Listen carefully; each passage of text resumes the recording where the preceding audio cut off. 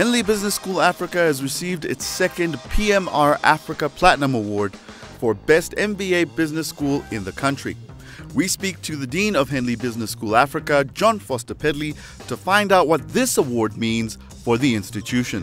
When we're acknowledged in an award like this, and for two years running, it means that the people in HR and the people in businesses are increasingly valuing what we do. Um, and that really matters because it means that we're delivering what they really want.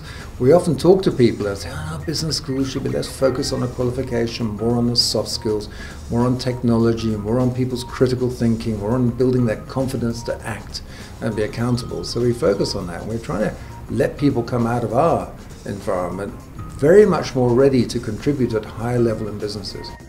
I believe it has to do more with the culture, the engagement, how quickly you make decisions and drive those decisions and implement and fail fast forward. That sense of readiness, that sense of I can walk out and have coffee and meet someone and we discuss and exchange ideas and come up with an amazing idea and immediately talk to our leadership about it and it gets implemented.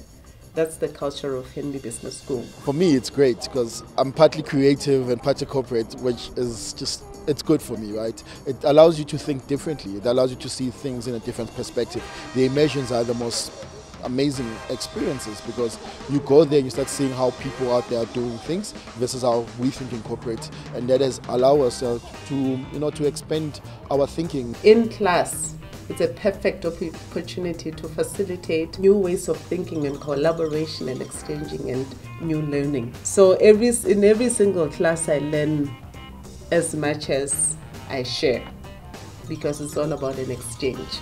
We make lots of mistakes, of course we do, and I wouldn't have it any other way because it means we're trying hard and experimenting. If you take the safe route and don't make any mistakes, that's the biggest mistake of all. And that means we think very carefully about our craft. What are we doing? Are we doing education well? How can we change it? We're not doing it for ourselves or just putting qualifications on people. We want the people who leave us to set good businesses and make good businesses a good environment for all our children to grow up into.